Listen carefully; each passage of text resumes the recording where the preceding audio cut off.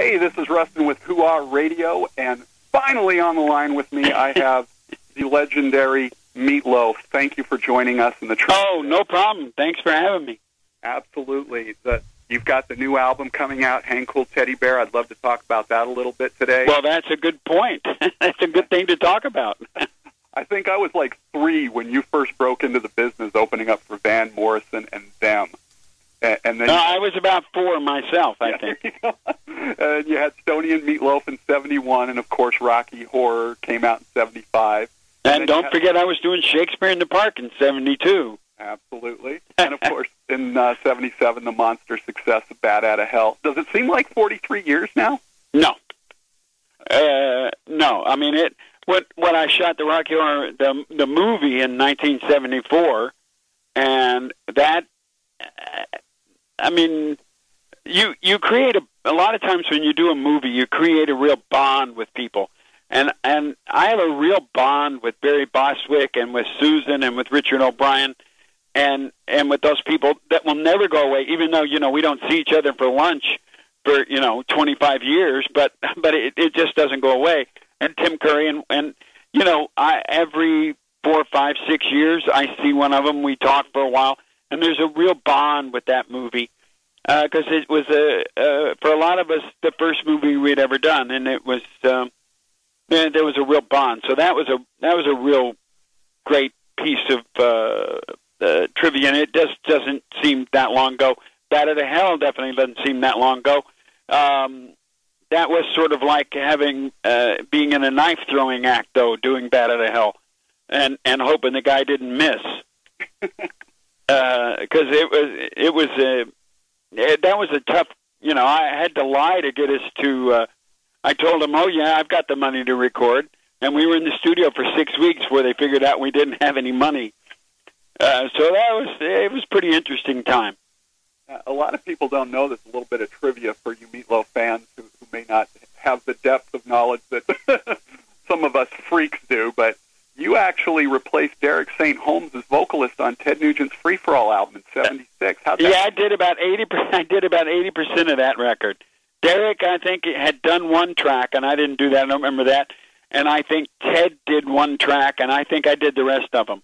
And uh, I, I think Ted did. Ted did Free for All, and Derek St. Holmes. I don't remember the song he did, but the rest of them on down. I sing the rest of the record and and we did it in like a minute and a half, and I had to throw the producers out of the studio because when they what when they asked me to do it, all they sent me was the lyrics and the music. They, there was no, they didn't tell me anything. Uh, it's like the title. They told me the title of the song on the lyrics, so I knew which lyrics went with which song, but there was no melody. There was no knowing when the when it came in, what the melody was, where the chorus was, what the there was nothing. And so when we got down to Atlanta, the two producers, I would start singing something, and they'd start arguing with themselves. And I eventually said to them, "Why don't you guys leave and come back tomorrow?" And they did. and, and I worked with the drummer, and that's basically. And then Ted came in, and we fixed a few more things, and we did it in about three days. Now I know why the album was called Free for All. Yeah, I think you got what about a thousand dollars for doing that. I did, but you know what? It was it was like receiving a check for ten million bucks at that point in my life. So I, I've never had, you know, it's not like I I go, uh, you know, some people hold these grudges and they go, oh, I did that work and he got all that money and I should be owed this and and I, I just don't have that, you know. Uh, great for Ted, you know, and he, he paid me and it was it was like a a blessing. I mean, my rent wasn't very much, and I think at that time because I was working with Jim, we were on unemployment, and so that was like, wow, we were rich. Well, let's talk about the new album because that's what we're really here for today.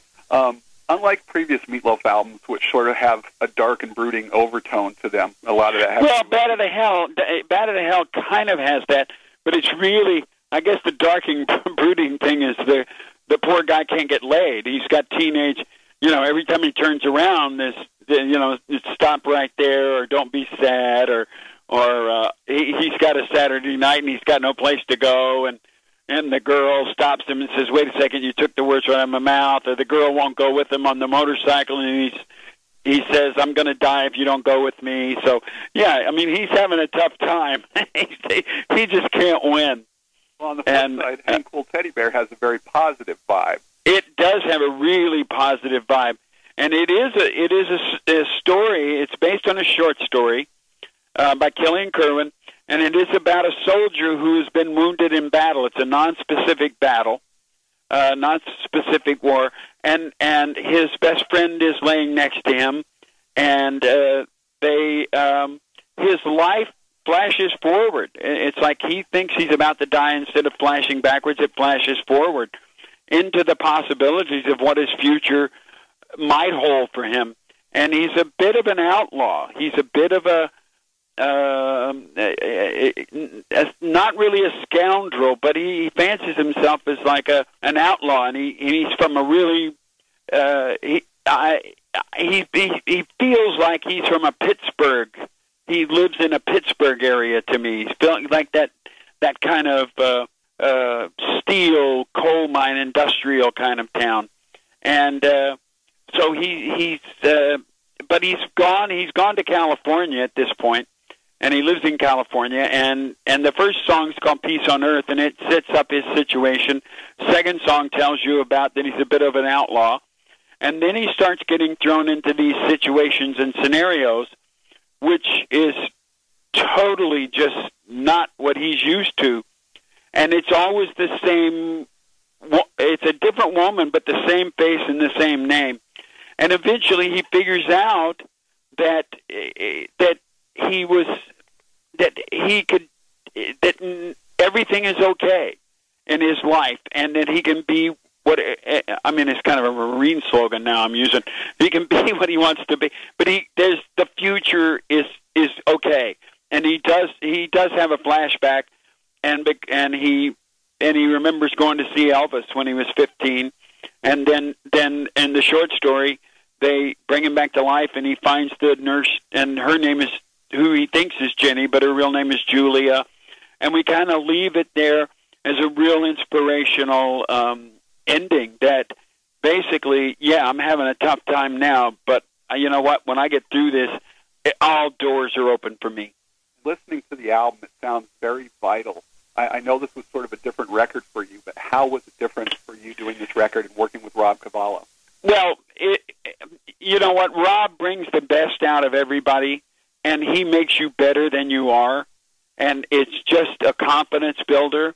And and you can you can get a sense from listening to this record how much fun and how much enjoyment and what kind of enthusiasm has been put in into this record from not just from me but everybody that worked on it. And it was really like uh, like an old. Uh, it was done almost like an old studio system movie where we had a collection of musicians and writers all at the same time in one place.